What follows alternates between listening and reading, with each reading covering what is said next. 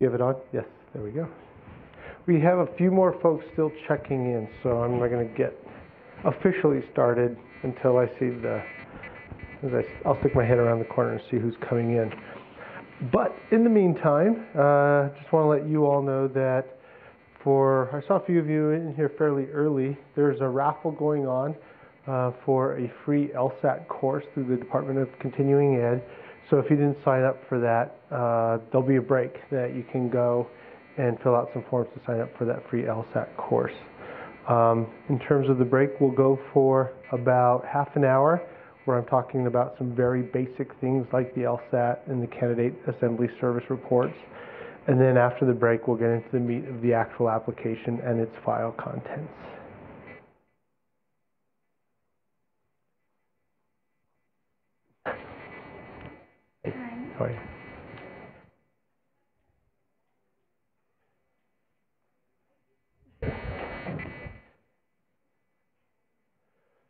Okay, I think we're good.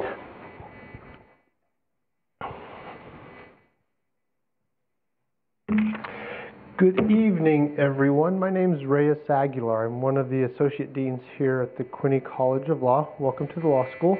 You're in a fairly new building. We love the fact that um, we just moved in here four years ago, and it's a great space that we're very happy to be in. For any of you who are University of Utah students and were involved with the Hinckley Institute or working with social and behavioral sciences in the building next door, that's where we used to be, and we were in that building for 50 years. So you know why we're so happy to be in our new building. Um, tonight's workshop is the application workshop. As I alluded to a few minutes ago, we're going to be covering everything from the very basic basics for a few minutes and on through the application, uh, its contents and the process, the evaluators, things like that. Hopefully you'll find all this information very helpful. Uh, but before we get started, I want to make uh, an introduction. Uh, Julie Nelson is uh, a test prep instructor for the university's Department of Continuing Ed. Is it still under Department of Continuing Ed? And um, I'm going to give her a couple of minutes to talk a little bit about their test prep program, some information about that, and also um, answer any questions you may have either about the program or test prep generally. Julie.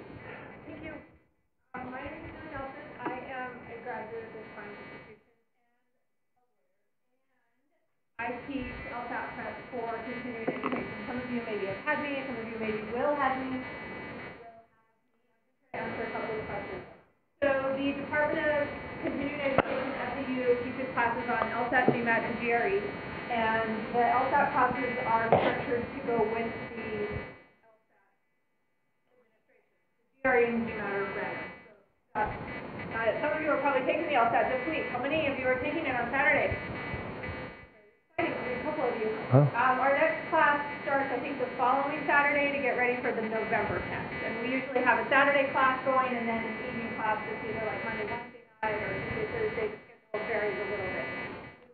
Available on continue.utah.edu.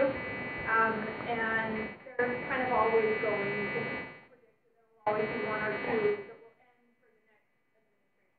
um, if you do sign up to take the class, then you can take it again for free for three years. So like if it doesn't work out to take that particular test or you're not ready and you want to take the next one or you want, you're welcome to retake the class for up to three more years, no problem. Um, we use this book. This is the brand new edition. Um, and then also there's the Super, no, yes, the Super Prep. The Super Prep Volume 2 also comes. When you sign up for the class, we give you this book and the Super Prep book. I think the class is $840, and it's taught on campus. Um,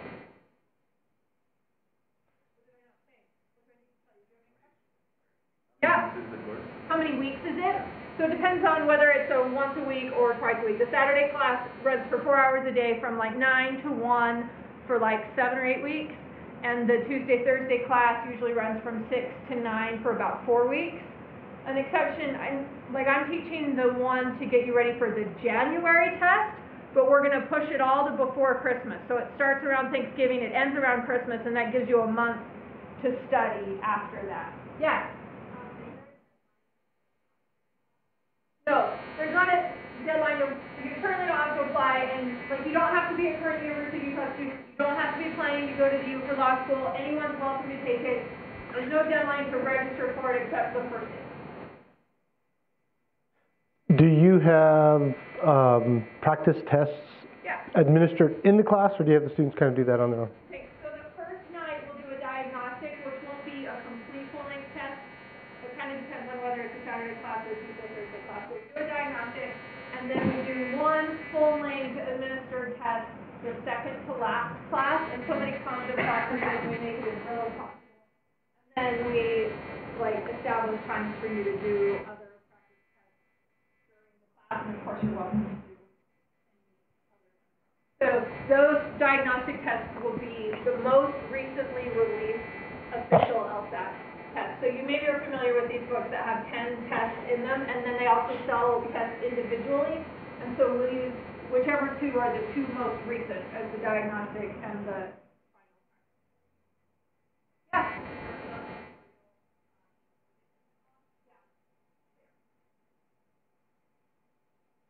Oh, No, you got this down. Yeah. Oh, So they conclude weeks prior to test? So it depends. They're, they're always varying. So I think the one that starts on Saturday, the fifteenth, will finish like the week before the November test. So Usually you start with the test date and we work backwards. And usually they end right before the test, except for the Christmas one that I explained. So I guess the only other thing is that that's what the drawing is for up front. One of you will get a free class if you want it. So make sure you put your name in the drawing and then they'll let you know this week after they've drawn it out. Okay? All right, good luck. thank you, Julie. Uh, the, um, the second person I usually introduce is Amy Urbanik. She's the pre-law advisor for the University of Utah's uh, professional, pre-professional advising office. She got ill. So I just told her that I would introduce her in absentia. Uh, encourage you to go to the website if you're a University of Utah student in their pre-professional program. Uh, they are physically housed in University College, which is up by the Union Building, close to the uh, alumni house. Uh, that office will go over uh, your personal statements with you, do advising in terms of school selections. They have a whole host of services uh, that you should take advantage of. They also host the uh, annual law school fair, where of the 202 ABA accredited law schools, usually about 100 to 110 will show up. They'll be in the Union Ballroom. Uh, I have the dates for that on a couple of slides. Uh, so they sponsor that one. I know the hours are from 10 to 2, and it's going to be, I think, the second to last week in October on a Tuesday. As I said, I'll, I'll have that up on some slides there. Um, the Y also hosts a law fair. It's the next day after that. So if ours is the, the Tuesday of that week, then the Y will have one on uh, Wednesday, same hours. If you're a person who works during the day and you can't get out, traditionally uh, UVU has held a law fair in the evening on their campus, so that might be an option available to you to meet some representatives. Just know that because it's in the evening and a lot of the reps are either staying here in Salt Lake uh, or moving on to the Arizona schools, um, that evening program usually consists of primarily schools in the immediate region, maybe a few California schools. So, so instead of 100 schools, UVU usually attracts about 40 to 50 schools. Okay. All right, let's get started. Um, I like to have this be as hopefully informative as possible and somewhat informal. So don't hesitate to stop me and ask questions as we roll along. If it looks like we're going to start pushing that hour and a half, and I really do want to respect your time, um, if it looks like we're pushing that hour and a half, I'll ask you to hold off your questions until I finish a section and then we'll get to those. But until that happens, just feel free to ask away. Uh, do want to introduce you to the Office of Admissions. Uh, also, um, feel free to take photos with your iPhones, but I'm happy to send these slides out. So if we got your email address when you checked in, we'll send you a PDF of these slides. So you don't have to take uh, copious notes as, and you can pay more attention just by listening. Um, my name is up there first. I lead the office. I will be out a good portion of this admission season. I'm going to be taking a sabbatical from November until the end of May. I'll be checking in regularly. But Isabel, our Moreno, our associate director, will become interim director of admissions as I step on the cords, sorry. Um, interim director of admissions while I am absent. Susan Baca is our admissions operator, uh, uh, operations manager. She's actually going to be one person who you have a lot of contact with once you've submitted your application. She will be the one communicating with you and who you will reach out to if you have questions about whether your file has been completed or you're waiting to get some letters for, uh, from us, um, things like that. She's also whiz at ACES, so if you're having a problem filling out your application or navigating that software program uh, that you use to apply to law school, she can be really helpful. Our contact information there and uh, the general email admissions. If you email that, we also have a couple of law students who work as our ambassador fellows or their graduate assistants. Uh, and one of them was out there, Caitlin Assessi. You may uh, be reaching out or talking to one of them if you call on the general line or shoot the email. Right, so these are some of the events I alluded to. Um, First of all, I want to very much encourage you to come and sit in on a class and get a full tour of the law school. Uh, I think it's an immensely important part of this process. Um, law school is going to be expensive, and uh, next week when we hold the financial aid information workshop, you'll you'll find out how expensive it can be. But not only can law school be expensive, but simply the application process can be too.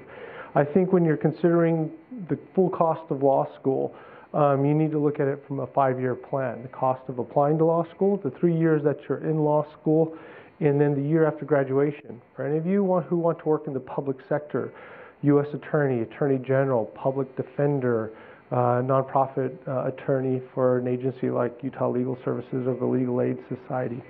It's important for you to know that you can't work for places like that until you're sworn in as an attorney.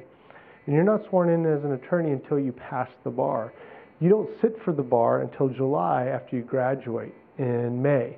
In Utah, it's a jurisdiction that's fairly quick at swearing in its attorneys. People who pass the bar are usually sworn in the first week of October. But in jurisdictions like New York or California, since so many people sit for the bar, first, they don't do the character and fitness check on those folks until they know who's passed it because they don't want to waste their time. People are informed of who passes the bar in November, and then it takes an additional two months for that evaluation on your character and fitness. So their swearing in ceremonies aren't until January. So you need to have a financial plan to get you through that, and that's what that session is about. Um, I mentioned law, visiting law schools as an important part of that because what you'll discover is paying for law school under that five-year plan is like making an investment in something like a home. And doing a law school visit is like doing the law, like doing the walkthrough for a house that you're thinking about borrowing. If you're going to be paying, you know, two hundred thousand, three hundred thousand dollars for a house, you're not just going to buy it based on a couple of letters you get and a website and a bulletin piece, right? You're going to go walk through it, sit in on class.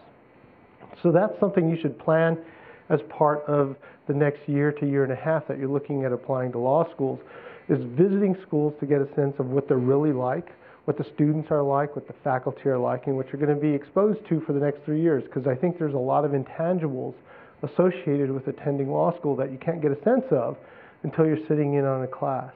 I encourage you to look at both BYU and us as a place to visit because even if you aren't interested into applying to a particular law school, if you have access to one that's close by, it's beneficial to sit in on a class and get a tour so that when you're applying to other schools, and if you can't do a tour as part of the application process, uh, and you're considering whether you want to wait until you hear whether or not you've admitted, been admitted, you can at least ask questions with some context of a classroom visit in mind. How are people sitting? What's the vibe of the school in terms of its, uh, you know, the, the political tendencies of faculty or students? Um, simply, what are the shapes of the classroom? Sometimes that matters to people. So visits are very important. Starting next week, we'll have our visits for fall open up. And on our website, you'll be able to see, uh, I'll show you where you, you look up and register for those. Uh, our application workshop is obviously what you're at today. And then next Tuesday for the same, same time slot will be our financial aid workshop, and I'll be covering what I mentioned already. The law school fair here at the U is October 23rd, uh, 10, to 20, uh, 10 to 2 p.m., and then the evening of the 23rd is traditionally UVU's. I have it in italics because I haven't heard from them yet, so I don't know if it's a go yet. But then definitely BYU's Law Fair is the next day on the 24th from 10 a.m. to 2 p.m. Uh, this is our website landing page. So to um, arrange for a visit, you go to the drop down as the second choice, right? And then once you click that, it'll open up and give you a schedule of classes and give you the instructions on how you, you RSVP for a visit and you can request a tour, things like that. Uh, there's also the events page. So if you're not going to be in town, but you travel a little bit and you're wondering what's going on in different places, you can see where we're having law fairs and some of the national events through the Law School Admission Council on our website. That's the events page. Okay. All right, so this is the real basic component of the discussion. Um, what is the basic requirement for being able to apply to law school? That is, you need to have a bachelor's conferred before you enroll. So a lot of people don't have a bachelor's yet when they apply to law school. They apply during their senior year, which is fine. But just know that before you're allowed to start or officially matriculate into law school, you have to have your bachelor's degree posted to your transcript, your official transcript. So sometimes that's a challenge for people if they have to go to summer school all the way up to uh, the, the summer just before they intend to enroll in law school. And they have to make special arrangements, and it's not a big deal, but it puts a lot of pressure on you to make sure your credit ducks are in a row so that you really are graduating when you anticipate in the summer so that you're eligible to be enrolled in law school.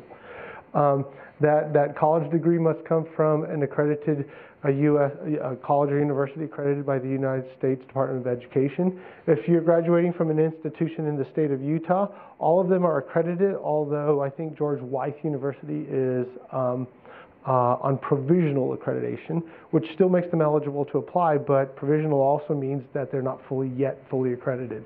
All the other schools in Utah, four-year institutions, are fully accredited. You do need to take this thing called the LSAT. It's an evil test, I'll admit that, but you do have to take it. Uh, and then you also have to register for this thing called the Credential Assembly Service Report. Uh, I'll get into details about that in a second. What about your bachelor's degree? Um, there is no requirement for specific coursework or specific major that you graduate with. That's part of the academic diversity that we're seeking to enroll students with. So any degree from any accredited school is going to qualify you for admissions and enrollment purposes. Um, but we are going to look closely at transcript. What is the challenging nature of that coursework? We understand some courses are more challenging than others. Majors are more challenging than others. School reputation, things like that. One of the things you'll want to pay close attention to is making sure you're taking classes where you're developing skills in written and spoken communication, reading and uh, comprehension, logical and analytical reasoning, two elements of the LSAT, and problem solving. Um, but you all have been through this process enough in the undergraduate admissions world to know that you know GPA does matter, uh, and we're not going to um, uh, try to pretend that it doesn't. But I think it's very important that you don't focus on something like a GPA and trying to protect that special number at the expense of developing real skills because I think one of the greatest challenges students face in law school on occasion is somebody who's done a very good job of protecting their GPA by either taking the teachers who give the best grades most easily or not necessarily challenging themselves through the process. And while that may hold them in good stead from an admissions standpoint into law school, once they get into class, there's no hiding from the work that you'll be facing, the challenging nature of the coursework. So granted, you'll want to maintain a high GPA as best you can, but don't do it at the expense of really developing academic skills in those areas. That's the bolts on the LSAT. Um, it's expensive, it's 190 bucks. Uh, if you want to become familiar with the test, that information is available on the Law School Admission Council's website. How many of you been, have been to the website? I saw only three or four signed up for it. All right. How many of you are registered and have an account number? Okay, a good portion of you. So you've obviously have spent some time there. So get to know that website. I think it really is very helpful. And it is the site where there is official information that what you're seeing is going to be true and accurate based on what they're obligated to report, the relationship with the ABA, and the relationship with law schools. Uh, sample tests are available on that website as well as uh, they're available for purchase. The score range is 120 to 180 points. Um, the median, the national median is about 150 to 151. It slightly changes from year to year and test to test, but that's about the middle score. Um, it's now offered six times a year. It used to only be offered four times a year. So beginning with this admission cycle, you're going to be a part of a candidate pool for that consists of people who, who will have the test available six times a year. I think that's in response to some of the schools that started accepting the GRE, and you can sit for the GRE whenever you want. Um, test dates that have passed it are the June and July tests. The next one is next Saturday. Uh, there's going to be a test on the 17th of November, uh, then toward the end of January, and then at the very end of March. Those should all work for this admission cycle, although that March test date is really pushing it. Um, test, uh, those of you who observe Sabbath, there are Sabbath observation dates available. You can go to the LSAC's website to see those. Just know that Sabbath dates aren't available for all the tests, so you may want to make some plans for that. Another big ch- change that has occurred with your test group or the test group for this admission cycle is people can take the test as many times as they want. The LSAC used to have a provision that you couldn't take the test more than two times in any single testing year or three times within a two year period, I believe. Um, and that was in part because Kaplan used to hire people to take the test and then they would try to memorize the questions and then take them back to the test centers and say, all right, let's see if we can reverse engineer this stuff. And LSAC was just kind of, fine, do it. We'll, um, we'll just offer the test to everybody and whoever wants to pay 200 bucks a pop can take it for as many times as they want. Uh, so that's a big change there. It takes about three weeks for the test to be uh, distributed, you should know that you'll be getting your test score via email or accessing it through your account on LSAC about three days before we will have access to it. So if you start calling the school saying, hey, I got my score, is my file ready? I see my file hasn't been marked as ready. No, it takes a while for that nationwide upload to have it happen. So give us a couple of days to get that information. Um, finally, in terms of the testing, we are not a school that takes the GRE. Uh, we don't anticipate that, that happening for a while. Um, if you've been following this, you know that approximately 17 schools around the United States do take the GRE. That's 17 out of 202. Um, the, that, I think a number of the schools in the last six months who adopted that were anticipating a major shift in the ABA's position on uh, what they're going to require schools to do to meet the standards for accreditation. And what they thought they were going to do is just open it wide up and tell schools you can either use the LSAT or a different test or no test at all. Uh, that was the um, standard that was proposed to the council, and the council turned that down. They said, no, we don't like that. We, we think there should be a test, and we think should be a test that is valid and reliable.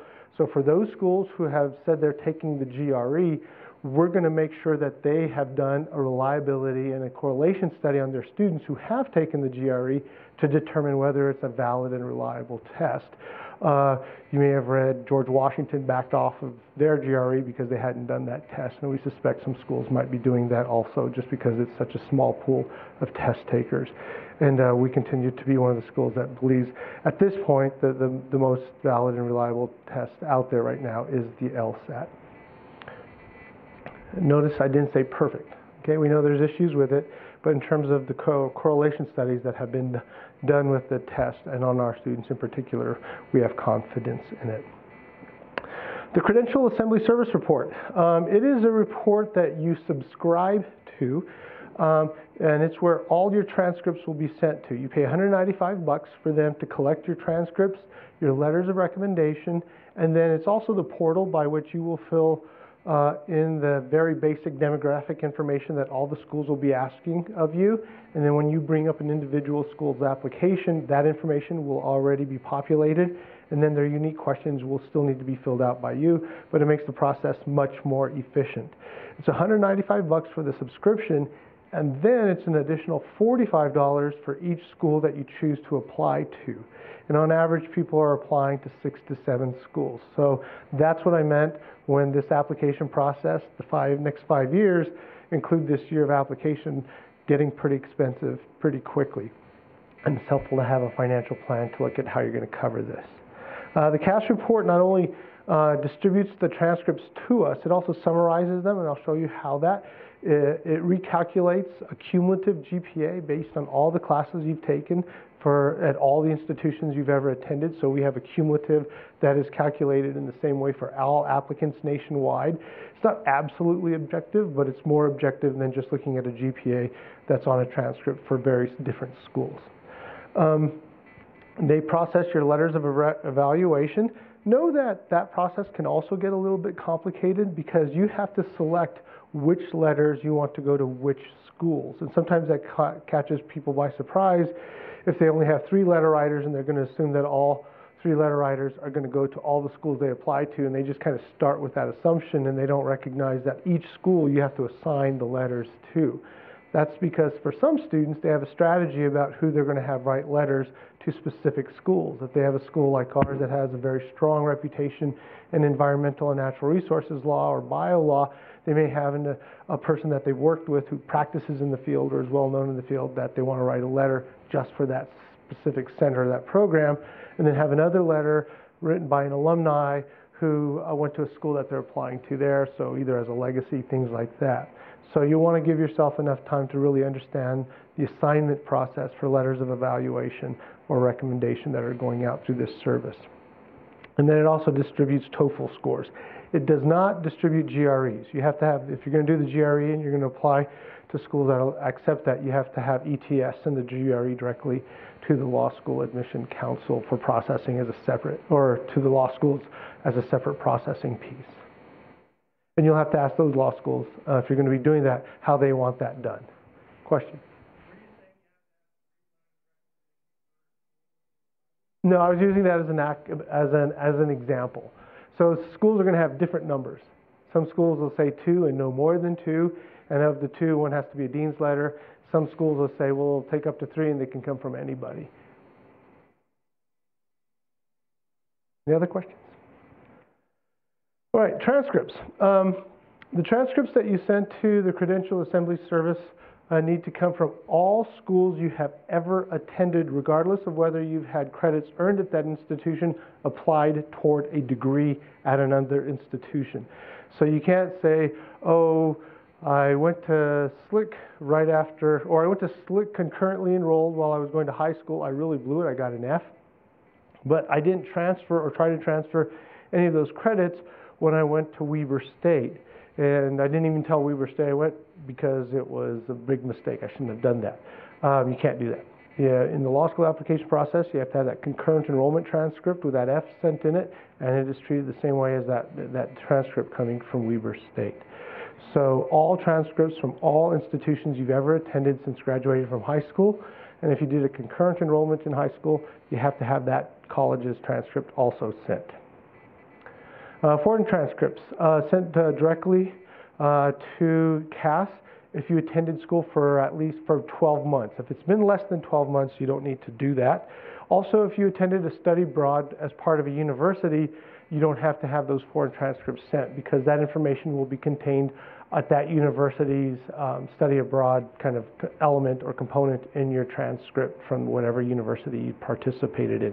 But if you went off to your own to Cuernavaca, Mexico to learn Spanish, and it was just completely independent, uh, and you were there for 12 months, you do have to have that transcript sent. Uh, and there's a translation service that is part of that CAS report that covers the expense of translating that, that transcript. But transcripts also, keep in mind, must always be sent directly from the college or university to be considered uh, official. This is the landing page for the Law School Admission Council. So if you haven't been there, um, this is what it looks like. Uh, it, like I said, it's, I, I, find it's some of the best information. And near the bottom, choosing a law school, searching for law schools. Uh, it's a small one. Uh, this is, I think, a really helpful one and then thinking about law school can be very helpful. Also, along the lines of the LSAT, the um, um, Khan Academy has developed a LSAT prep course, which is free. Um, and so we've been, those of us who have worked in this field for a while are really excited about it because we feel that one of the things that candidates sometimes feel, and we sometimes notice, is the economic disadvantage that some candidates feel by not being able to afford to take, take a commercial prep course and their sense of disadvantage at having exposure to that assistance. And the Khan Academy, we hope, will really create a level playing field in that regard because they have developed a really robust test prep program. And for those of you who are concerned about cost, or even if you're not concerned about cost, I think it's a good um, thought process to put yourself through in terms of starting with that. Um, it, it's, uh, they have a diagnostic test which consists of questions of, from actual LSATs because they're working with the Law School Admission Council. That you can, you'll, it's kind of like doing the LSAC registration. You register, put in a lot of information about yourself. You do a diagnostic test. Then, based on that diagnostic test, you can sign up for reminder emails so that it says it looks like you know your weakest element is the logical reasoning section. So you know we recommend you spend this much time per week on logical reasoning questions, and then it'll send you email reminders you know in two weeks saying look we don't see that you've logged in to work on this section of the test regularly, so maybe you should start doing that.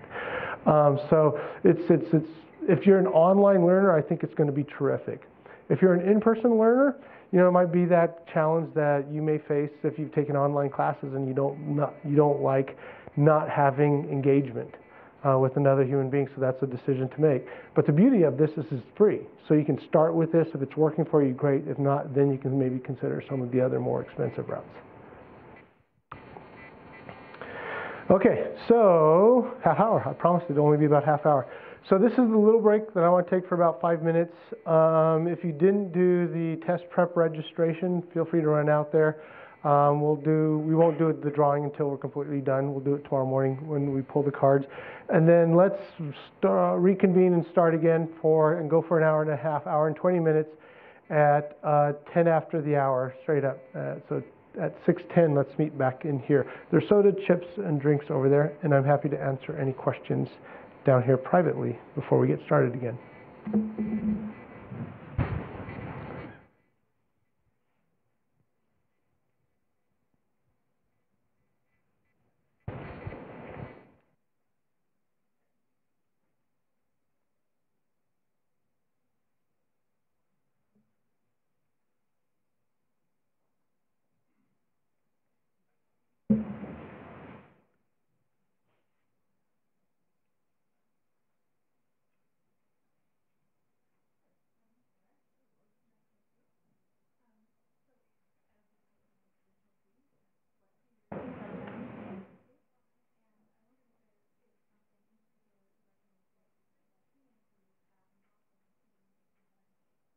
Okay,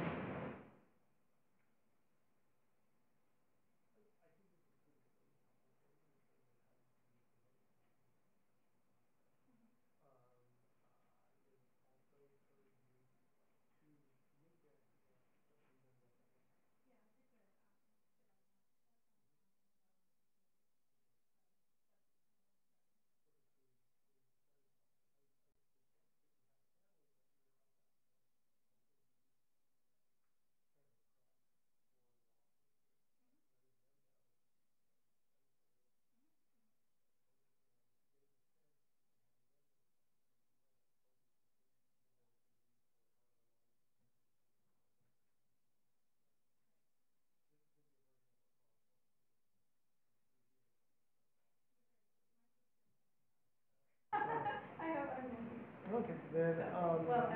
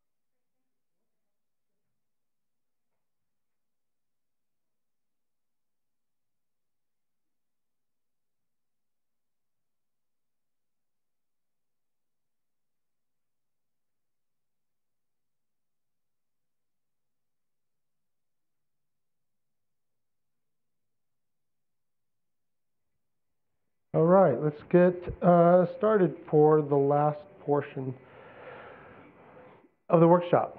Um, so these are the, the four broad areas we're going to cover uh, for through the rest of the evening. Um, the first is touching on our new early decision program. We just instituted for this admission cycle.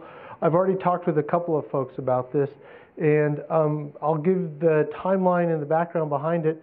Unfortunately, we did have to start somewhere, so for people who I've talked to, I apologize uh, for to them to them in that their plan was if had they known about this, they would have taken the July test or the September test, but um, they didn't know about this. And um, while I do appreciate how that is a challenge from those who are ready to make this a first choice school, um, since this is the first year of the program, we are, you know, we have to stay with the early dates on this program to, to, to allow it to work the way it's designed to work. Um, and because uh, just because there's going to be some seats offered in this early decision program, it's not like we're looking to fill 80% of our class with this. We anticipate uh, will probably be, if it's a good year, maybe 10% of our class will consist of people admitted through this. There's still going to, we still anticipate the vast majority of our class being filled by people going through the regular decision process. Um, in terms of the early decision process, it is driven based on a, basic concept that the University of Utah's College of Law, the Quinney College of Law, is the candidate's first choice school by far.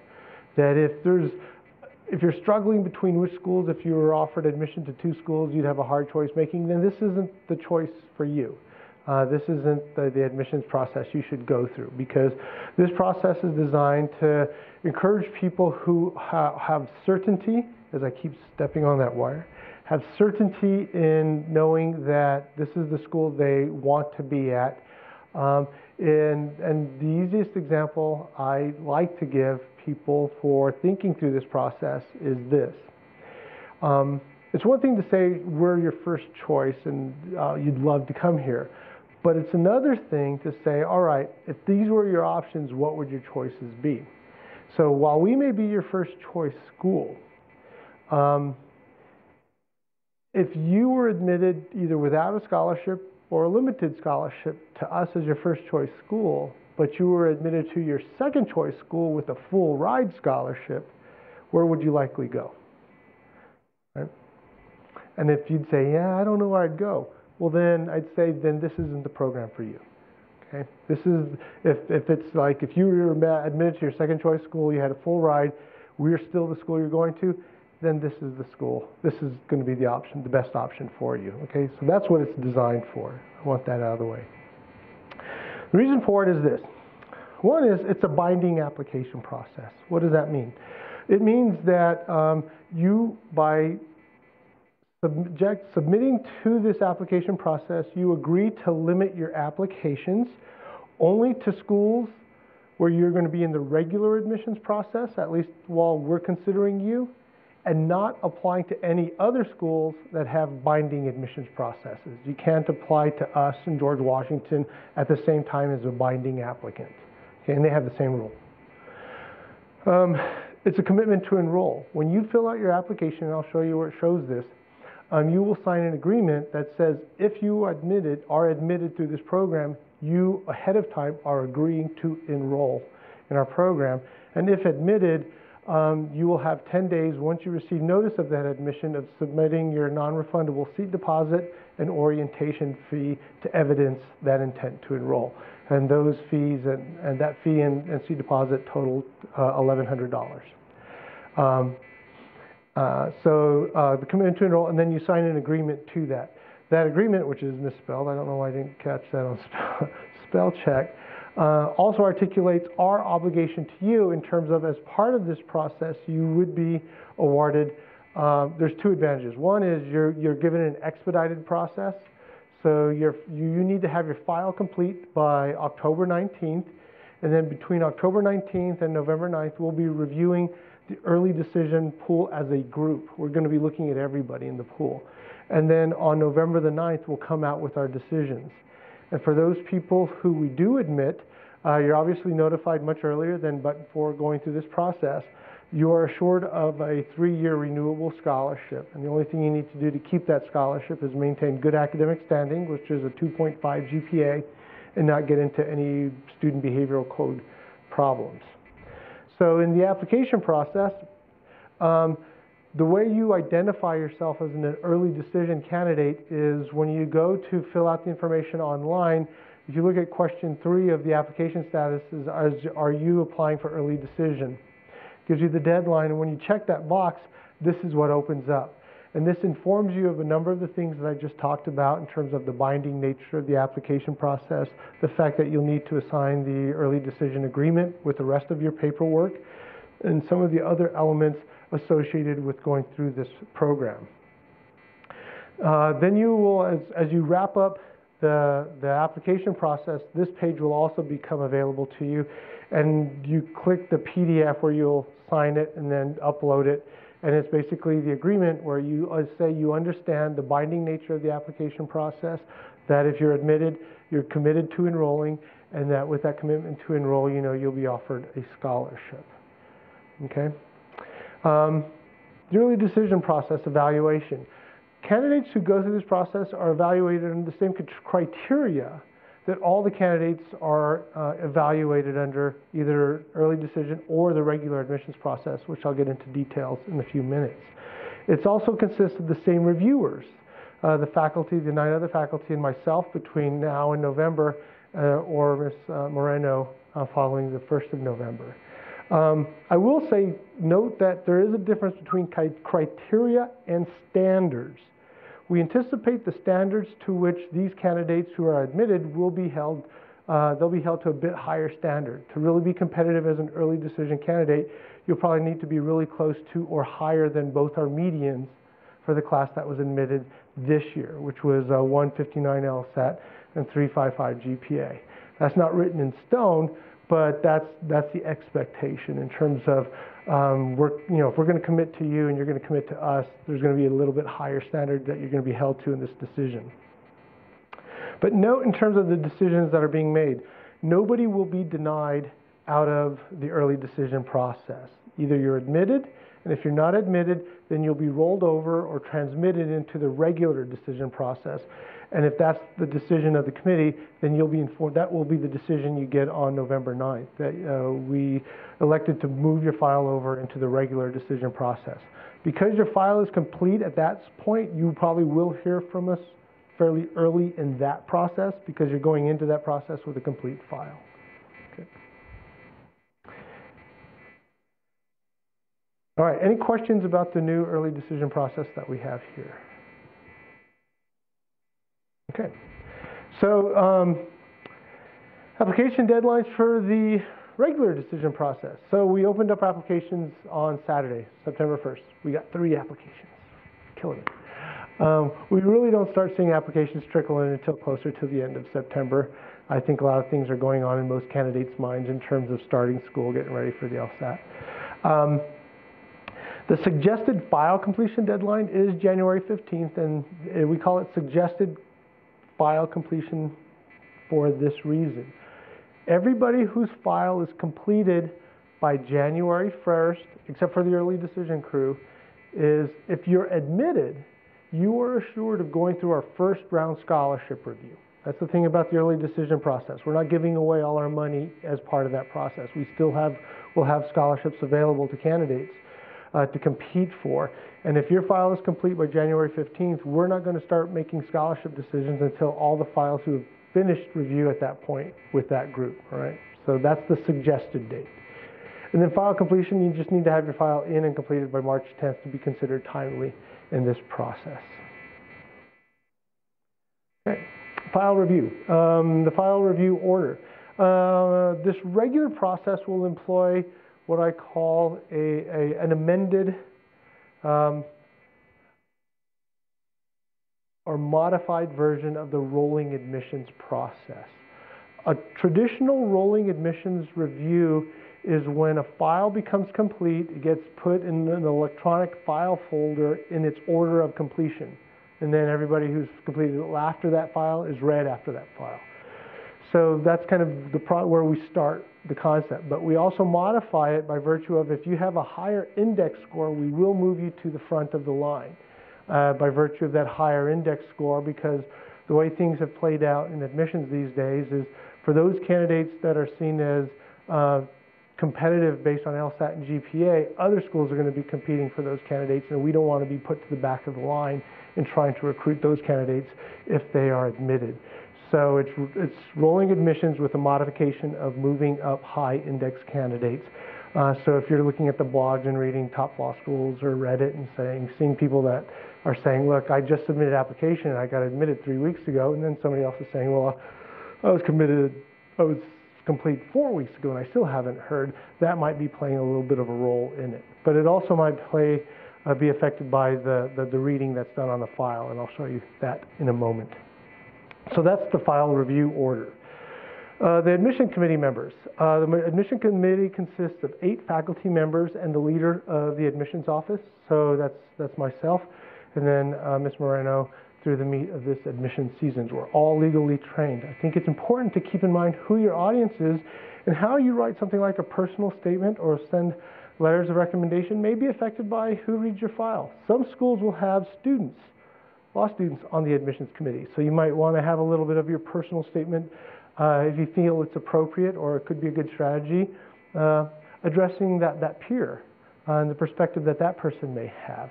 Some committees consist of just one person and it's just the admissions dean, and that's your audience and who you're convincing for admissions. Others will have professional readers, people who just read files, you know, six months a year, and that's just their job, and that's all they do. Um, you can find that information out at that law fair that's going to be held here in October.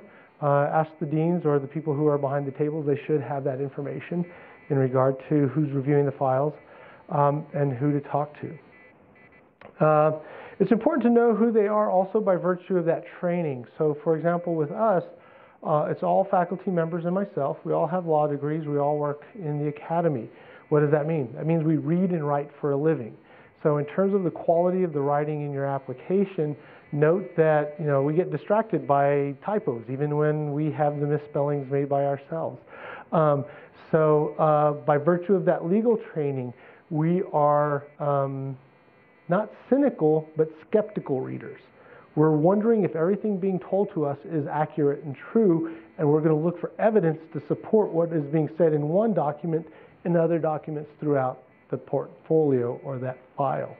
Uh, we're also impatient readers. So if somebody in their personal statement or letters of recommendation or resume seems to be just kind of droning on or giving information that really isn't relevant, we may get frustrated and wondering where are we going. And these are people who you want to have positive thoughts about you. So keep that in mind in terms of the patience of the reader. The voting process.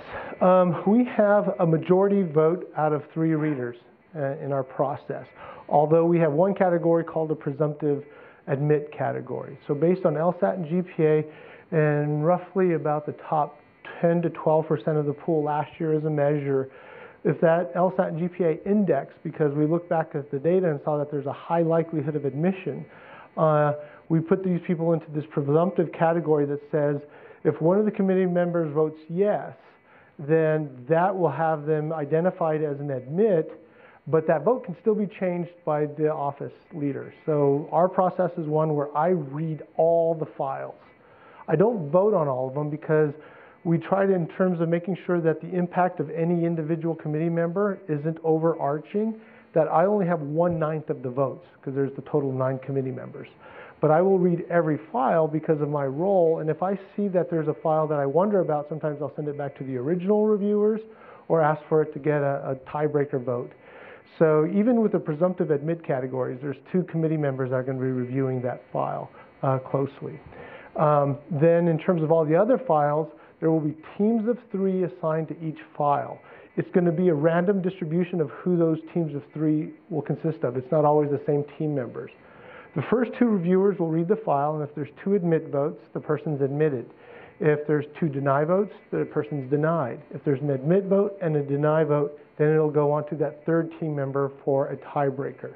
So at least in our process, you're not convincing nine people to admit you. You're, admit, uh, you're, you're convincing a team, a majority of three reviewers to admit you on the decision. Um, uh, so, so be aware of that. In our voting process, there's another thing that's changing up this year. We're, we're allowing or we're, we're, um, we're implementing an interview process.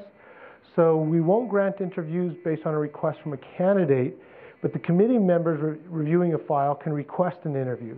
So we're creating a new status, I guess you might call it, uh, where um, if a committee member wants to have a candidate interviewed, we will extend an invitation to the candidate before that, that candidate is done with the review process and invite them to interview. Uh, and then they can either accept the invitation or decline it. Uh, and if they accept it, we'll interview it, take the notes, and incorporate that into the decision-making process. And if they choose not to, to accept the interview, then they'll just continue on with just the file review as part of that. Okay. Yes.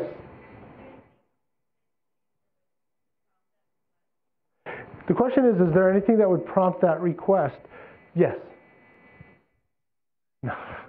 um, and, and, it's a hard question to answer, and it really is one of those classic depends, because it could be that the academic record, and you'll see how we see that academic record, uh, the candidate may be making an argument for themselves, or a letter writer might be making an argument on behalf of the candidate that says, look, this GPA as a cumulative GPA is fairly low for this candidate.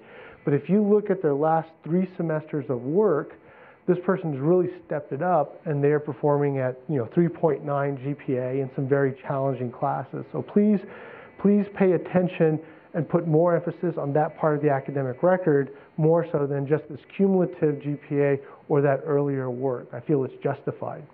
And a committee member might say, well, there's some interesting stuff here, but I don't know what they mean by justified.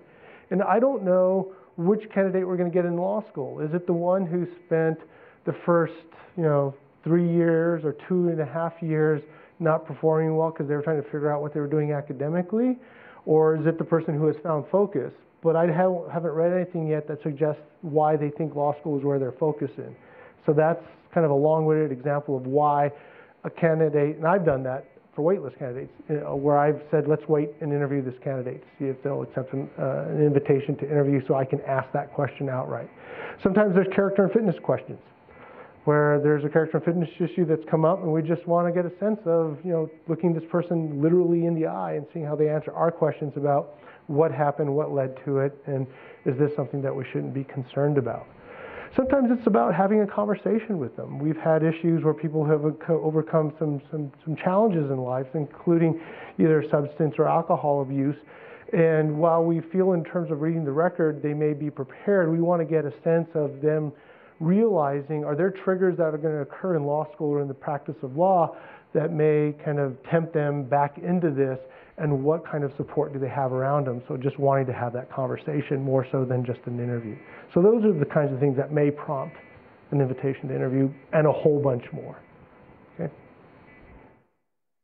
Any other questions? Okay. So voting process, committee members, admission statuses, fairly simple. Admit through this process, admit, waitlist, or deny. People will be denied as part of this process.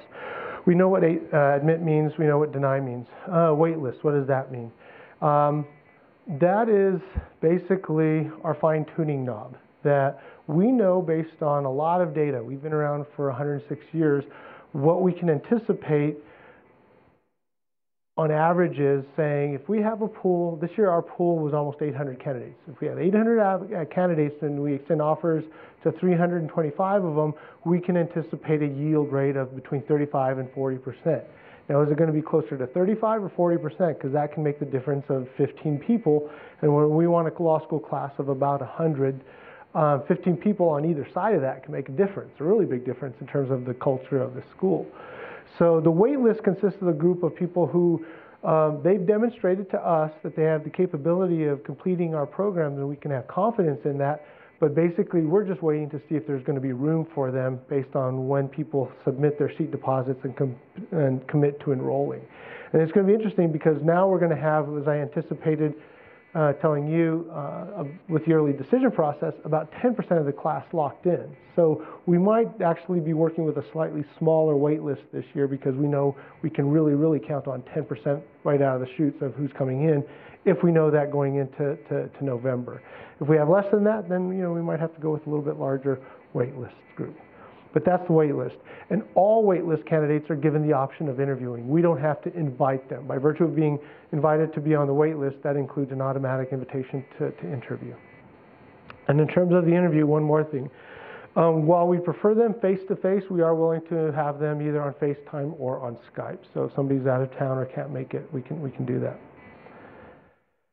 Uh, notification, how are you notified? Um, Officially, I have to say you're notified on paper. You will either get a letter in the packet that says you've been admitted, or a letter saying you've been waitlisted with some explanation of how it works, and a letter or a letter saying that unfortunately the decision is to deny. Um, but one of the funnest parts of my job is calling people and letting them know they've been admitted. So I try really, really hard to call people once the decision is made.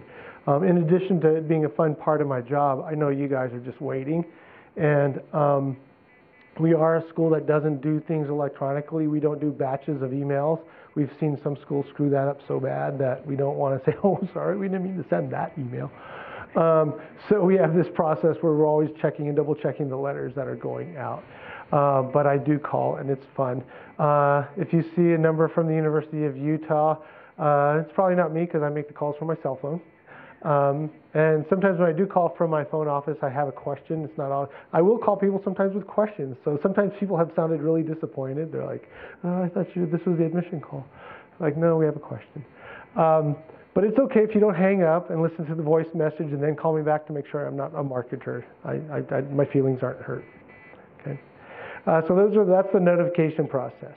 Now the criteria. Remember I talked about the criterion that is different from standards. So we have over uh, the, the the process is based on three questions, and we have approximately 40 criteria under which you will be evaluated with. In evaluating those criteria, we use them to answer these three very broad questions. The first is, have you demonstrated that you have the academic skill set necessary to compete in and complete a program of our quality? Right? We're one of the leading schools in the country. Secondly, how well have you demonstrated that academic skill set relative to the pool that you're competing with? So the larger the pool, the more challenging it is to gain admission into our school, and the smaller pool, uh, the, the, the, less challenging it is. That's why um, you guys are in an interesting era right now in the law school application process.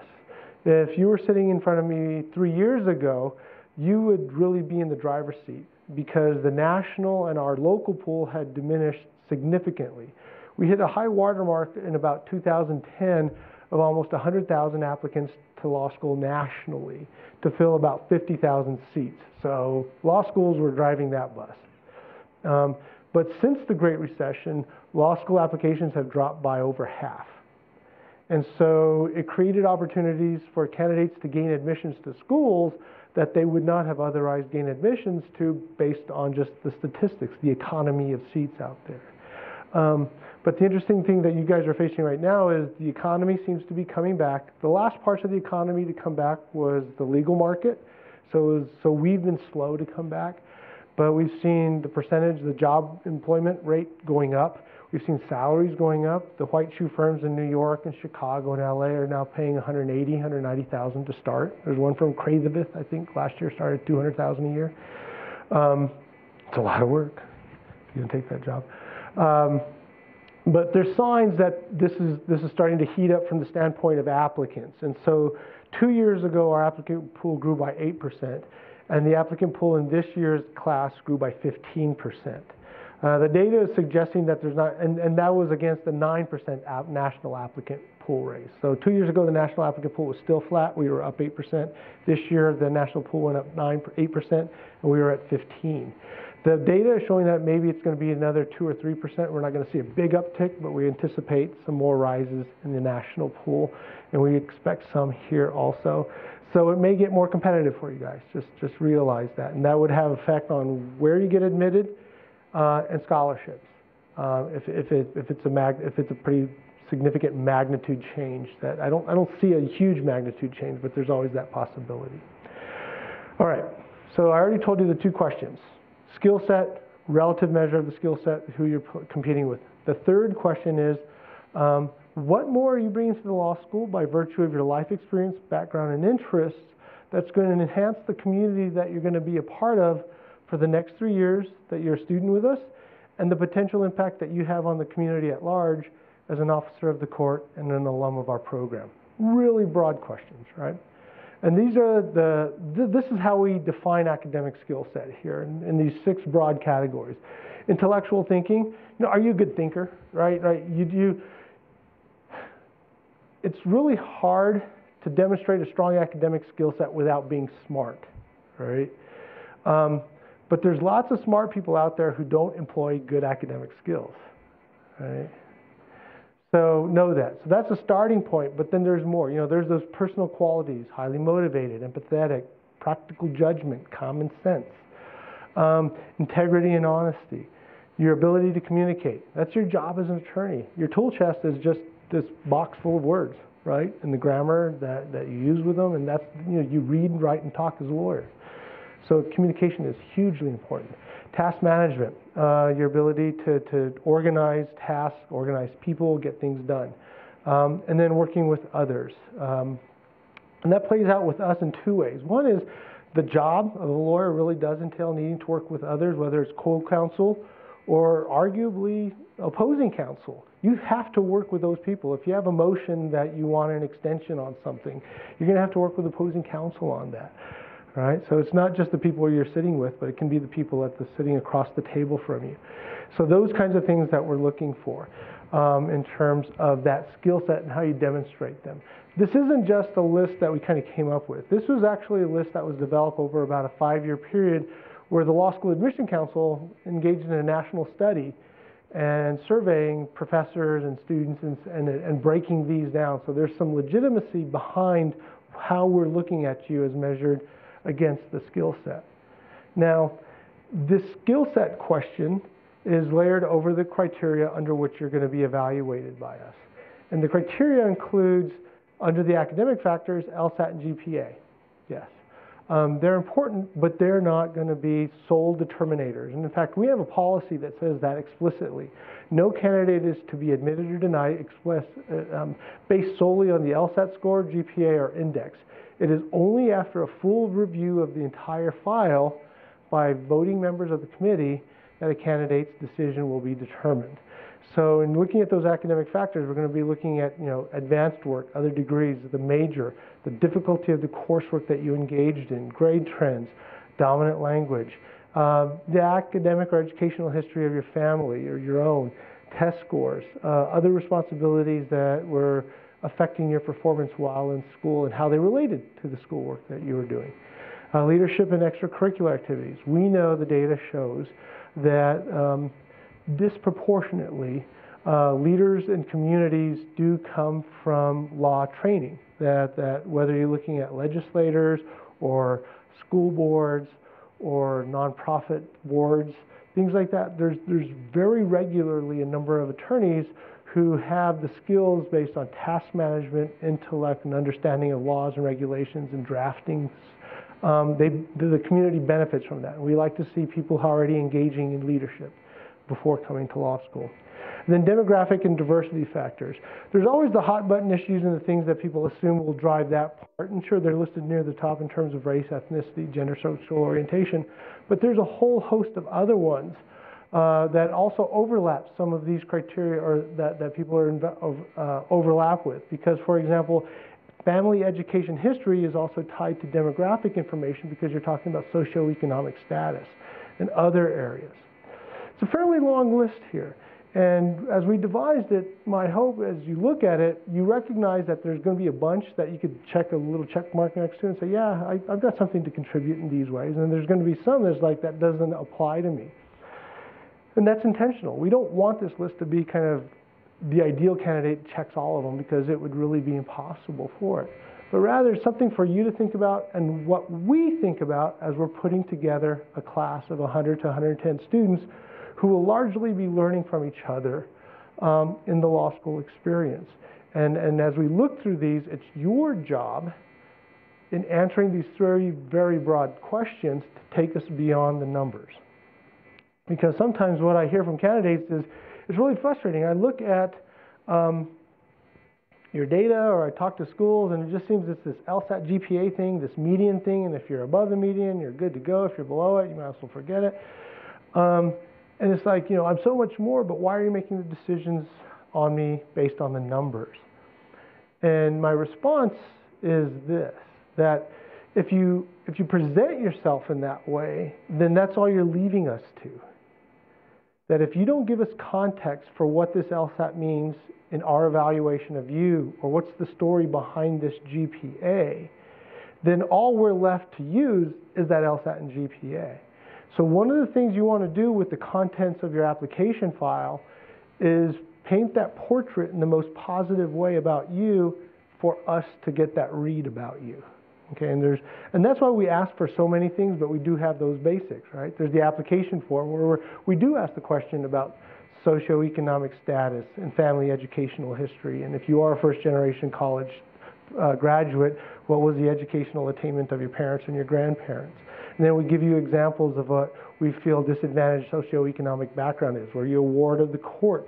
Was your family on AFDC or, or WIC, or did you have, were you a free, a free lunch or reduced lunch recipient at any time during school? Things like that. Also, you know, the question of uh, how did you find out about the law school or what leadership developments did you have and ask you to talk about that in your resume or list those kinds of things out. So that, you know, we get some of that information in the form, but the form has these blanks where you articulate what that answer is for you, not, not to just check a box, okay? Uh, application fee. You should have gotten an application fee waiver when you checked in. Okay, you good? All right. Um, resume. Um, some schools are really picky about resumes and say no more than one page and lots of white space. And it's like, all right. I like information. The thing is, I want you to use the resume strategically, though. That, that yes, there's going to be stuff on the resume that are going to be mentioned in the application form and maybe mentioned in the personal statement, but it's that, that bullet piece that lets me kind of get a broad picture of you over a more extended period of time. So um, I am one of those people that I'm fine with a three-page resume if it's relevant and, and well put together. Um, uh, some schools are not. So get permission if a school says a resume no more than one page. Don't go to that school and say, Dean Aguilar said I could send you three pages. No, Dean Aguilar said he's okay with a three page resume, but follow the instructions. There's a question.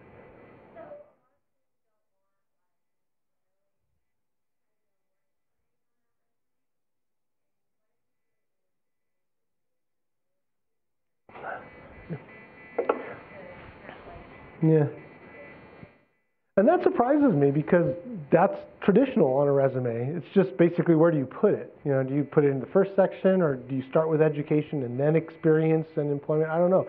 So I, you'll need to ask the school that, and that might be one of those things either at the law fair or you start having an email conversation with somebody at the school that you may have read on your resume. This is what we suggest and you just acknowledging it looks like you're not suggesting employment history. Is that true? And they may find that, like, no, we didn't mean that. We the assumption is you'll include employment, but this is what we also want more of.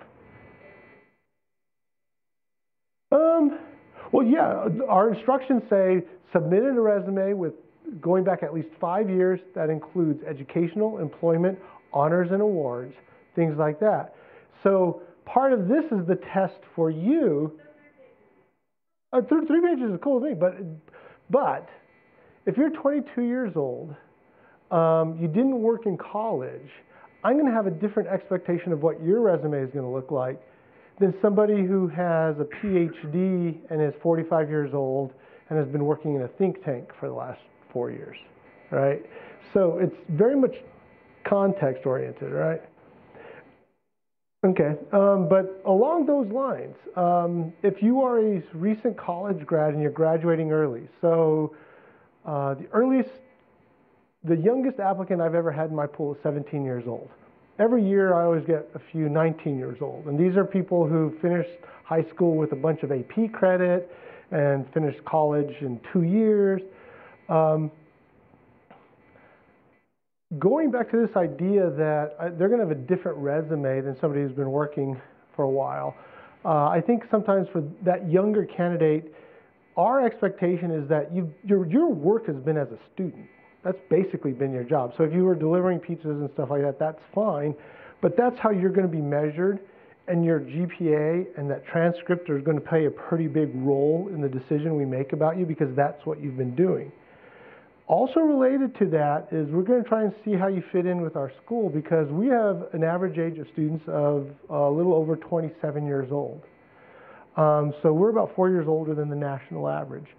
And along with that, even with our younger students, we're trying to get a sense of how mature is somebody. And so for the younger students, I often see kind of like high school accolades. You know, captain of the football team, football team won state championships, president of senior class in high school. Don't do that. It's just, uh, we're looking at your college stuff. When you're reaching for high school stuff, it looks like you're just kind of living in your past. So you don't want to do that. We want go only go back as far as college for those kinds of things. Um, uh, and, and you know, that's just basics there, at least on the resume. Any questions on the resume? Yes. Mm -hmm.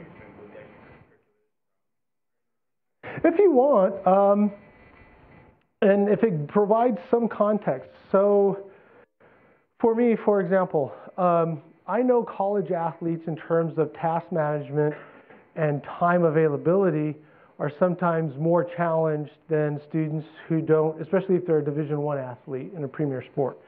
So if you're playing Division One football or swimming or basketball or, or softball, I know the time amount dedicated to that may have had an impact on GPA or grades in terms of that performance.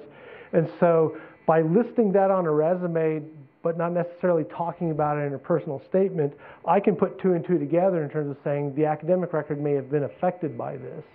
And, and if they were, you know, academic all conference and did some of these other things, there's this other benefit that, that, that carries. But if they've been in the workforce for 15 years, I'm fine with that just being on the resume and being in the workforce, doing whatever you've been doing professionally is, is kind of the core of that other information is fine. Does that answer your question? All right. Any others? Okay. Um, before letters of recommendation and personal statement, I want to jump to the CAS report because by describing what we see about you can be really helpful in how I make suggestions in approaching the personal statement and CAS report. So this is the law school report that you pay $45 per school for us to see. And it, it's just a one-page document that has attached to it the writing sample uh, when you've done with the LSAT and you have that last section where your hands hurt, you still got to write.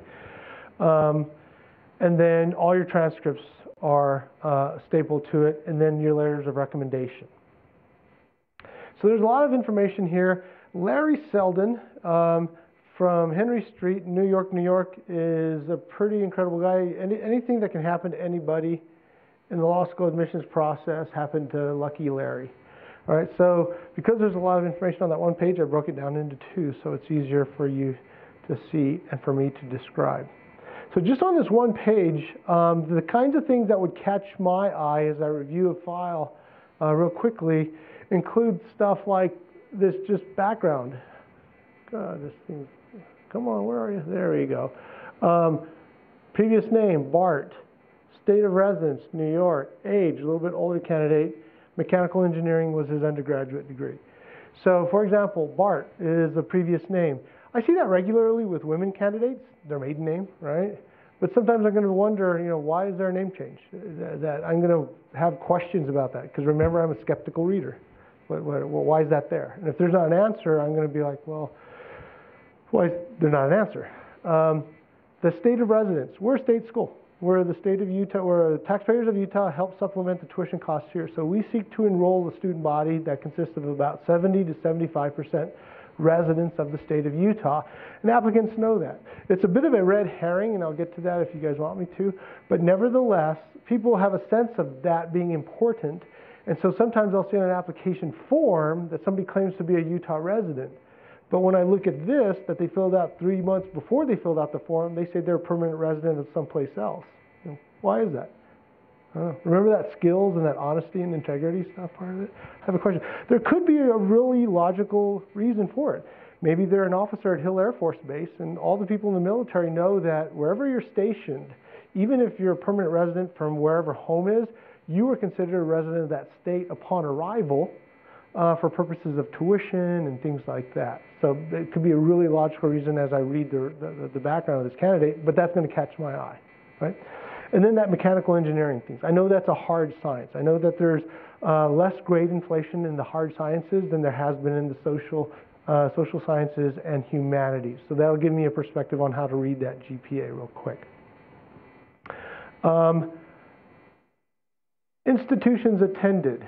So this is where he earned his Bachelor's of Science, Hobart, mechanical engineering, but he also has a master's. We like people with graduate degrees.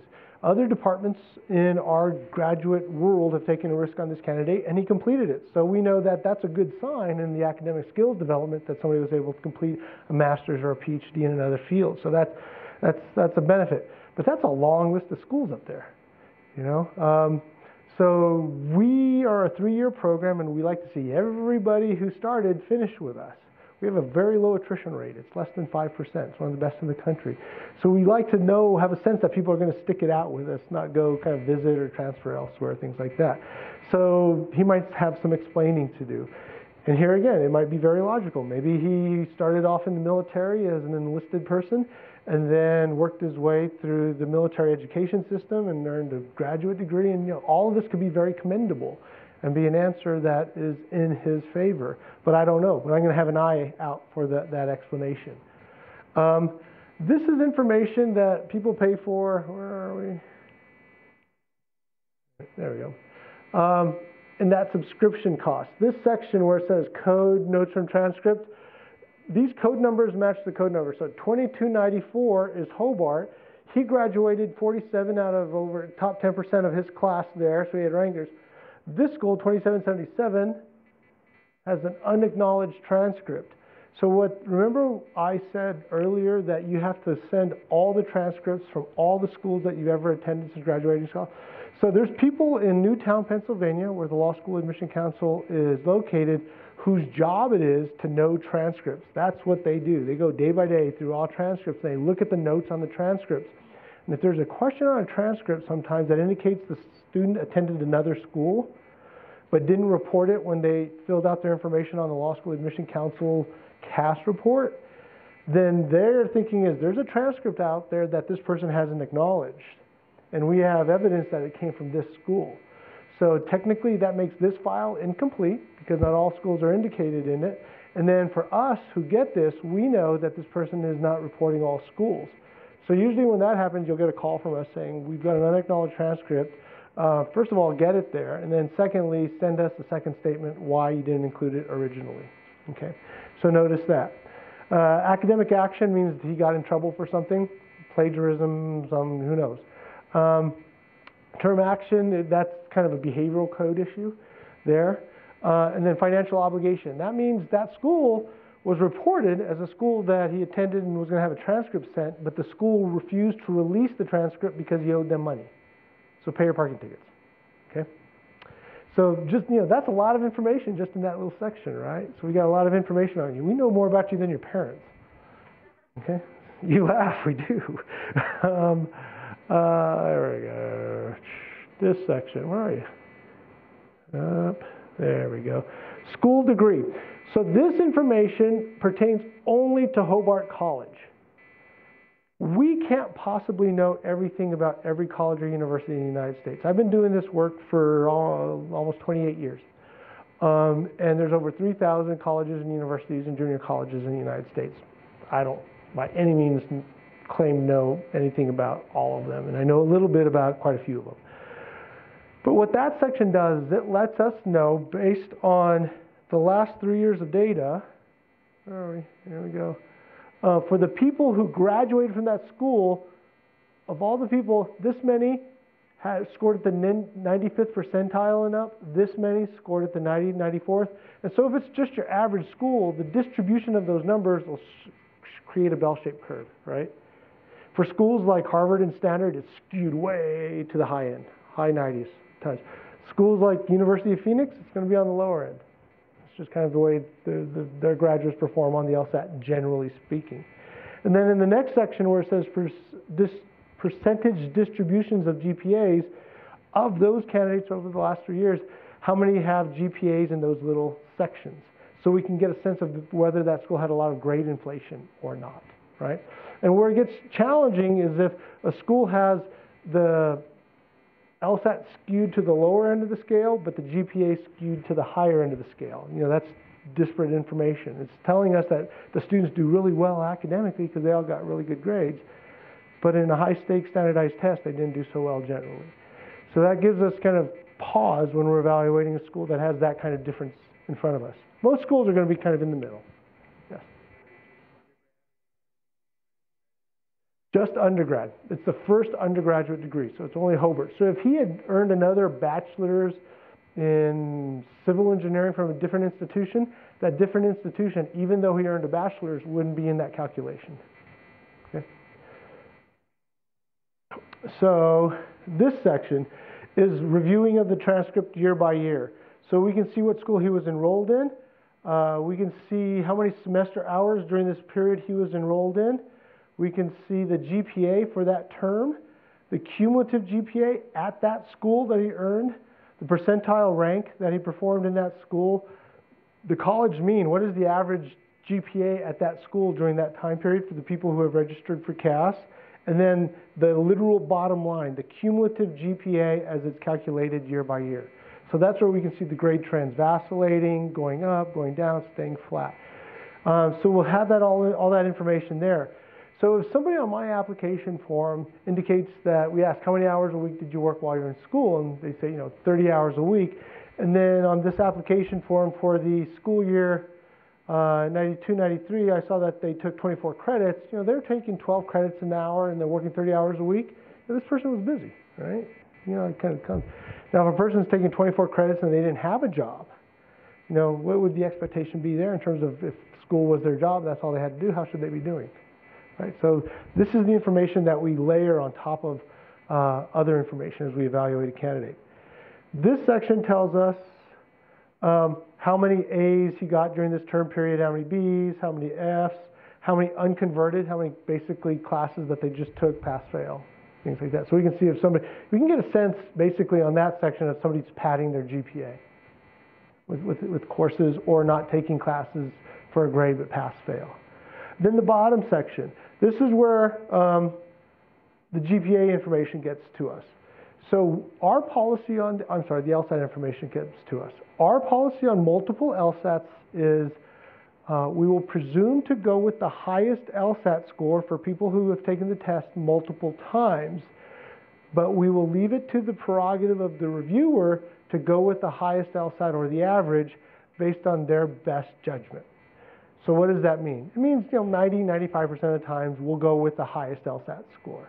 But there is this small percentage where people will say, especially when there's many tests, the data that we get shows that the more a person takes the LSAT, you know, three or more times, I would say, um, the more accurate prediction is made for the performance in law school based on the average LSAT score because there's more data to draw on in terms of highs, lows, and everything in the middle. So for us, if my general recommendation to the committee is based on the research that I've read is if you've got a candidate who's taken the LSAT more than three times, um, we tend to find that based on our correlation studies that predicting first year performance is more accurate based on the average than just the high LSAT score. So that's something to think about. And that's national information. So other schools have this information too, right? And then we can do that because they tell us all the information. So a school doesn't tell LSAC, our policy is to only go with the high LSAT score, so only show us the high LSAT score. Now they see it all. And I think the distribution of scholarships and stuff like that can be affected by the number of times that a person takes the LSAT and how that average plays out. And, and even though they may have the highest LSAT of the applicant pool, there's others scores present that suggest that, you know, there's a better prediction based on the average, then that, that may affect, at least on our end, some of the scholarship offers. Okay. Uh, undergraduate summary. This is the one that um, you need to pay attention to here. This is the degree summary GPA. So that's the degree he got at Hobart Undergraduate School. That was the GPA he got at that school. And then the GPA for all the schools he attended, for all the undergraduate classes he took. That's the cumulative. And so those two uh, numbers know this. The cumulative is based on all classes taken for all, uh, all, all grades earned for all classes taken at all institutions attended. The degree summary is for all classes taken at that school. So if you've repeated classes, and this is true, I think, of all Utah schools. I, I haven't found a school in Utah that doesn't do this. Uh, schools in Utah have a policy that if you take a, a, a class multiple times, in computing the institutional GPA, they will just use the score you earned the last time you took the class. So if you took chemistry in your freshman year and you got an F, and then you took it in your junior year and you got an A, the U will use the A to calculate your GPA, and you'll have a higher GPA. But when it goes through this, this CAS report process, they're going to look at the F and the A and use that for the calculations. Conversely, if at the U you got an A, an a the first time you decided, or a B the first time you decided to try it again to get the A and you end up getting a D, they're going to use the D in your GPA calculation because they used it the last time you took the class. Right? That's, that's their policy. So these numbers may be different than what's on your transcript. We know that. Um, you should be aware of it too because sometimes we see arguments made on the academic record a candidate may have saying, well, the law school Admission Council is wrong in their calculation because I have a higher GPA. If you look on my transcript, it's X. And we'll say, well, you're right, the transcript on your GPA is X. The LSAC isn't wrong because they told you when you signed up for this stuff how they were going to calculate the GPA. So don't argue with how it's done. You were informed with it, okay? That tells us if you've ever enrolled in another school or if you've ever engaged in misconduct in the application process. Question here, then there. Um, just pertaining to the number of grade, if you took like a summer semester, what year would that factor into, like the spring of It would more likely fall in the spring. That, that, most schools will, will incorporate the academic year to the summer. Like here at the University of Utah, when they do the calendar, it's fall through summer, and then the next academic year begins with fall through summer. Okay. All right. So with all of that, letters of recommendation and personal statements, what are you going to do? Right? So by knowing the three questions that we're going to ask of you, my first suggestion is looking at letters of recommendation. Um, it matters who writes them, but you need to help them write the letter. And when I say it matters who writes them, I'm not talking from a political sense, I'm talking from a, a knowledge about you sense. That these should be people who can answer those questions that we're asking of you and be able to give us the answers with a, this is one of the strongest people I've ever had in school because. So you guys are here on a Tuesday night after a holiday, and you're going to find you know, you're, you're working at this. You're not going to have a problem doing this. But I think what's important is how you ask somebody to write a letter of recommendation. So if you're going to go to a professor, catch them in the hall without people around them, or go to their office and say, I'm applying to law school next year and I need excellent letters of recommendation. I was wondering if you would write an excellent letter of recommendation for me.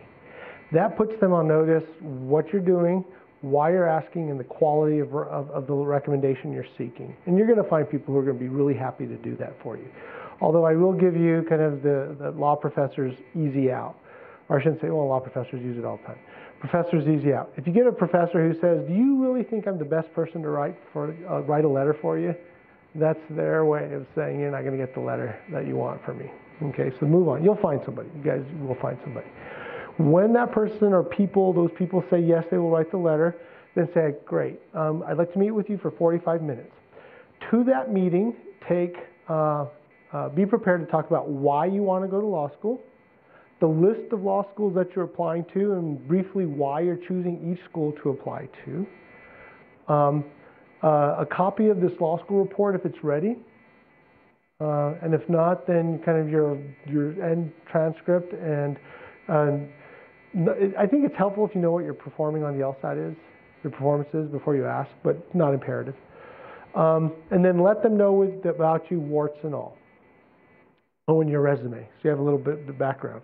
Because by telling them why you want to go to law school, the schools that are going to be getting these letters, because remember, you when you use that service, they don't have to know what schools are getting these letters. They just send this to the service, right? Uh, it makes it easier for them. They don't have to say dear each school. They just send one letter to whom it may concern.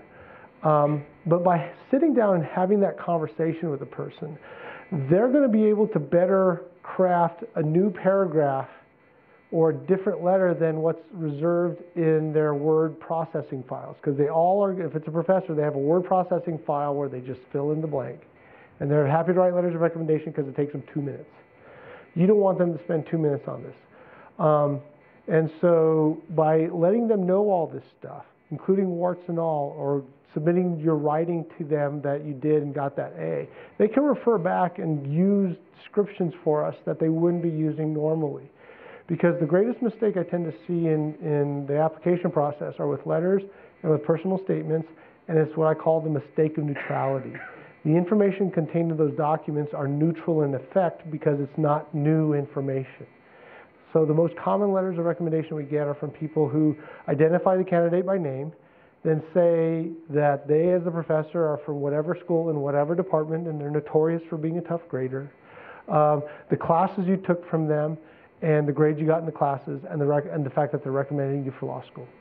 We know what school you went to because we have your transcripts. We know what, what grade, what classes you took because we have your transcripts. We know what grades you got because you have your transcripts.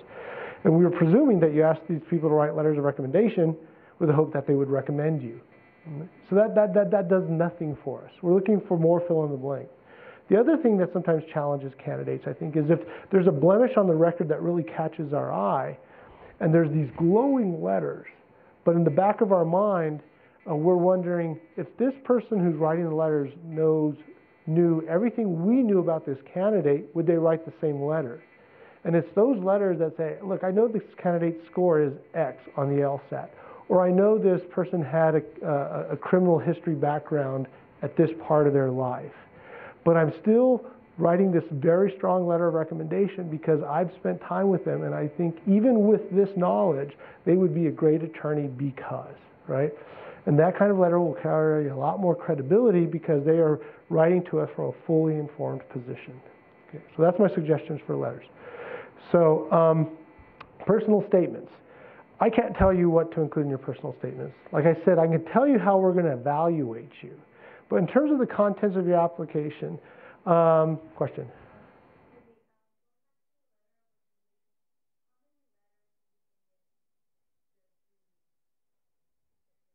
Um, thank you for asking that question because there was a version of it up here. We, re we require one letter. We will take up to three. If you're a recent college graduate, two or two, at least two out of those three should come from academic sources. Um, in terms of what schools do with letters, it's up to them. But for us, we only require one, and it goes back to that idea that the average age of our students is older. We have a lot of people who come from the workforce, and in tough economies, especially, it's kind of tough to go to your job and say, "I know we're talking about this promotion or this, you know, increase in salary. I hope, but I'm not going to be here next year because I'm applying to law school." Um, so we don't want to put a, a tremendous onus on somebody who can't, who's been out of school for 15 years, right? So we only require one.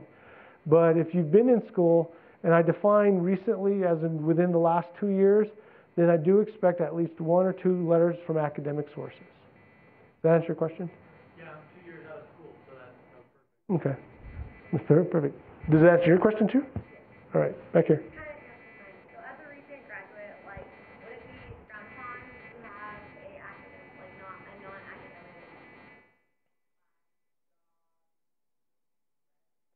I think that depends on the strategy you're employing. And I'm going to use kind of an easy example for me um, and how you kind of segue it into kind of a different kind of strategy is going to be kind of your own thought process. So the easy example for me is let's say I got a candidate who's well below our medians. And so I've talked about, and I was going to talk about this in a second, but let's talk numbers real quick. So our median LSAT last year for those who are who enrolled was 159, median GPA is 355. The 25th to 75th percentile, that middle 50% of the class, uh, the GPA was uh, 332 to 375, and the LSAT was 157 to 161. And then the absolute range. Remember, I told you we look at everything. The absolute range for the LSAT was 145 to 174, and the GPA was 2.3 to like 4.15. So I do want to acknowledge that 2.13 is not the 145. Okay, but quite frankly, I'm you know it probably makes some of my faculty mad when I say this, but I don't care. I'm proud of our low numbers to the extent that when we say we look at everything, we do look at everything. And you know, just because you have a low number doesn't mean you have no shot. We know there's more to a candidate than a few three-digit numbers. But if you're below those numbers, you're going to have to you're going to have a hard time and you have a task in front of you to show us that relative to the pool, you've got an academic skill set that's going to position you to uh, compete in and complete our program, right? And then what more are you bringing? You know, that question. So with that statistical background, let's say I have a candidate who's below the medians, not, you know, not scary below, but below the medians. But this person has been doing social work, wants to go into juvenile justice issues, maybe wants to go or, and says specifically would like to work for the guardian ad litem. These are all things that we as a committee know uh, are areas where attorneys are really desperately needed. And we also know that these are areas of work where there's a tremendous amount of turnover because of the emotional toll that is taken on attorneys. That these are difficult situations. Now, if I have a candidate who maybe has a master's in social work or has been doing social type work in her, his or her position and now wants to, instead of assisting with the kids in some ways, represent them as their lawyer in a proceeding as a guardian ad litem. They know that that's going to be difficult work, that a lot of that work is often going to be involved with the termination of parental rights and bad situations. But the likelihood of this person, based on his or her professional experience, really going back to do that work is much higher, in my opinion, and experience than somebody who's fresh out of college, hasn't had that life experience, and while they have the, the best of intentions in saying they want to do that, haven't been exposed to it.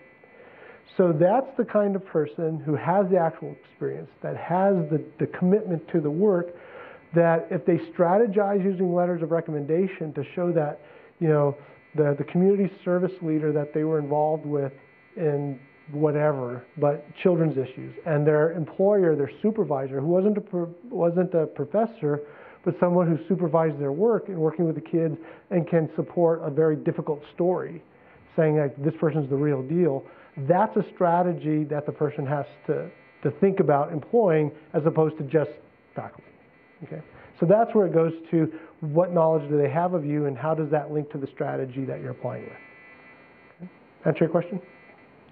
Any others? Okay. Personal statement. Um, we don't have any page limitations. Most personal statements are about two pages long. Even if you are young and don't have much life experience, I'm going to have a hard time being convinced of admitting you if it's less than two pages. I want to know something about you, all right?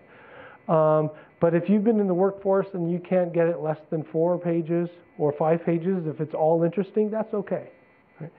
Schools that have really high volumes of applicants, like Georgetown or George Washington with, you know, 7,000, uh, Berkeley with 5,000 applications a year, just to get through the applications, they have to be strict on the page limitations. So when they say two, they mean two. And you're, if you give them three, it's just not going to be read, and they're going to be annoyed with you. All right, so read the instructions. But with us, you have full leeway. The good news there is you can tell us your story. The bad news is you can kind of trip yourself up with giving us too much information or not enough information, right? So you've got to use good judgment. But as um, you think about it, look at everything else that I've talked about that we're going to have in front of us. Put all that stuff in front of you your transcripts, your law school report, your resume, your filled out application form, and that thought process that you're taking to the letter writer about why do I want to go to law school? Why am I choosing to apply to this law school? And then answering the three questions academic skills and other things you're bringing to the law school. What does all this say about me in answering that stuff? And then what context can you give us in that personal statement that will fill out that portrait that you're, you're painting about yourself so that we're really positive about it? And so, to that end, because we're impatient readers, know that um, you need to be making a point. So, have a theme, a, a point, a whatever you want to call it. You know, just there, there needs to be a point you're heading, and then write three, four, five, six drafts. Once you're done with those drafts, pass it around to two or three people. One of those people needs to write well so they can read it with an eye towards grammar and punctuation and tone and formality and all of that.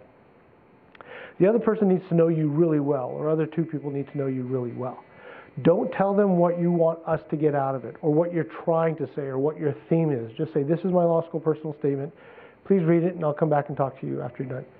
When you sit down to talk to them, say, What did you get out of it? And if it's what you want us to get out of it, you're on track, right? Um, we're not, you know, it's not that that part's not rocket science.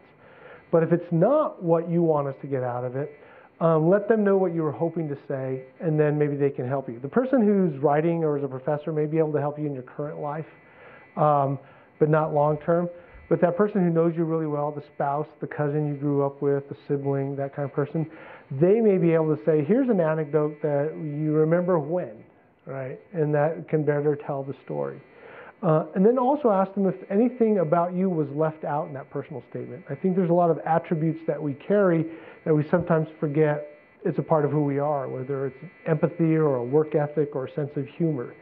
And ask them if that was left out. And if it was, just say, you know, what do you think, you know, can you give me an idea or suggestion about how I could work that into it. And you may find that that's already on your resume, so you're golden, right? You're good there because there's other parts that'll cover that. But that's my suggestion in, in approaches because I can't tell you what to say because I don't know any of you. So, and that's that's the big part of this personal statement is me getting to know you. Okay. Um, and then I got some websites. So those websites can be helpful, I think, in terms of especially public service stuff, financial aid. We got the financial aid discussion next week, um, so please try to make that. Any questions? And like I said, if you're on our list, if you registered or if you signed in, we'll send you these slides as, as, as uh, PDFs.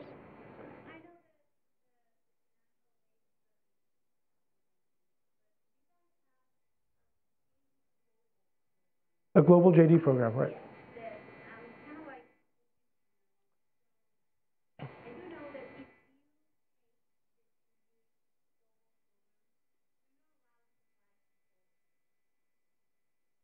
Um, no, you can apply for need-based scholarship. We just don't have any merit scholarships for the program.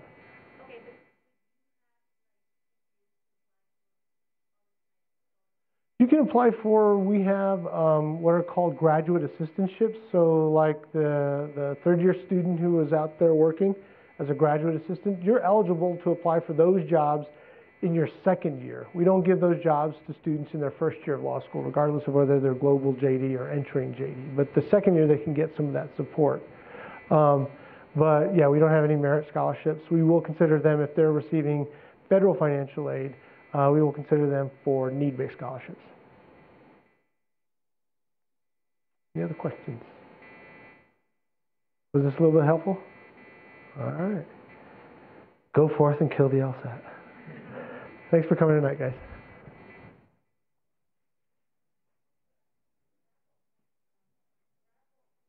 The raffle. Oh, I told them the winner would get the email in the morning. Because, yeah, so for if, if you came late and you didn't fill out the application for the um, free LSAT, you, you can still fill that out. But don't stuff the ballot box. Because they'll spam you with email. Thank you. Oh, you're Sure. You're very welcome. Thank you.